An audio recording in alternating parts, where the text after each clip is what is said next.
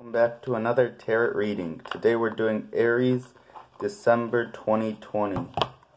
Aries, December 2020. We got a new deck of tarot cards you see right here. And the zodiac ones.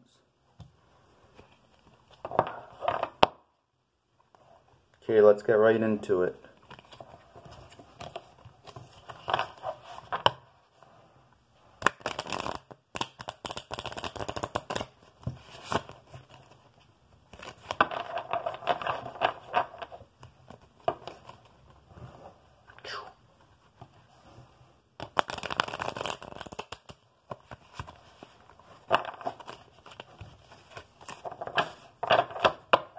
Aries, December 2020.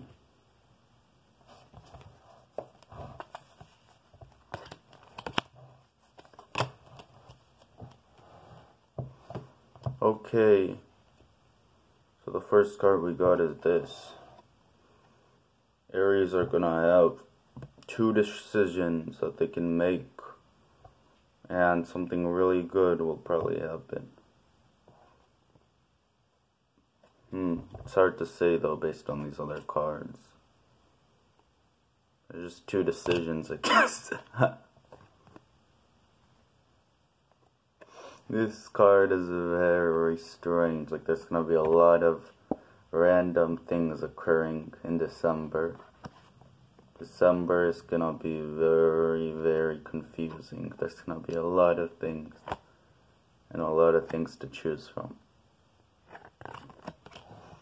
And then there is gonna be something terrible that happens in December for Aries. Aries are gonna get broken inside.